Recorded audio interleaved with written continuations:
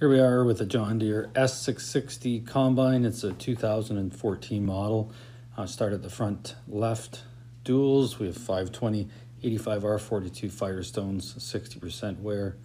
The faces are not checked and no cuts. Left hand side of the sheet metal is in very, very good condition. Rear tires are 28L26 Firestones. And we look here at the back corner. Auger is a 22 foot. Rear of the combine is in excellent condition. Power cast tailboard. As I mentioned, two wheel drive axle. We move around to the right side of the combine.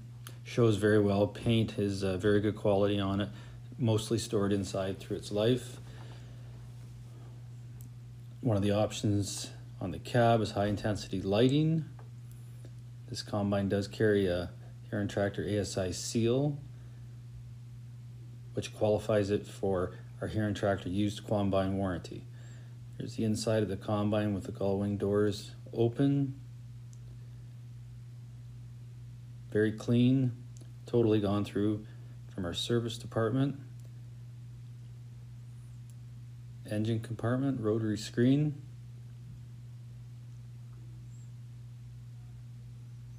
Move up and take a look up and inside the bin with the bin extensions open and the fountain auger in the operation position.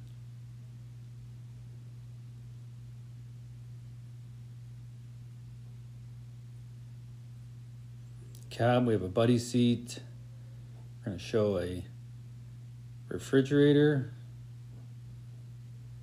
Cab's got no real rips or tears in it. Seat's in very good condition